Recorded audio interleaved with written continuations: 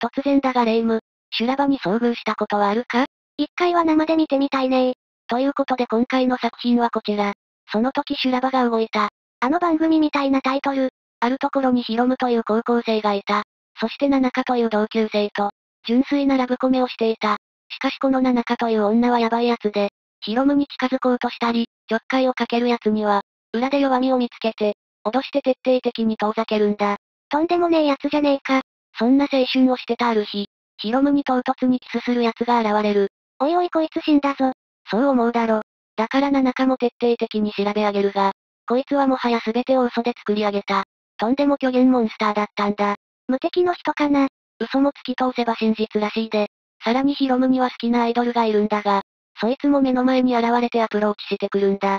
でもどうせヤバいんでしょう？こいつはアイドル本人ではなく、ヒロムがこのアイドルを好きと聞いて、全身整形してきたやつなんだ。どうしてみんなヤバいやつなんだ。そしてヒロムをめぐりラブコメが展開される。っていう話じゃないんだ。違うんかい。実はこの3人で争っているように見えて、とっくにヒロムのことを手中に収めている奴がいるんだ。じゃあなんで3人で争奪戦してるの？残りの2人をおちょくって遊んでるんだ。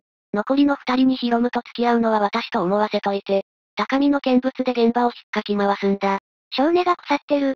いや全員腐ってるか。果たしてヒロムと付き合うのは誰なのか。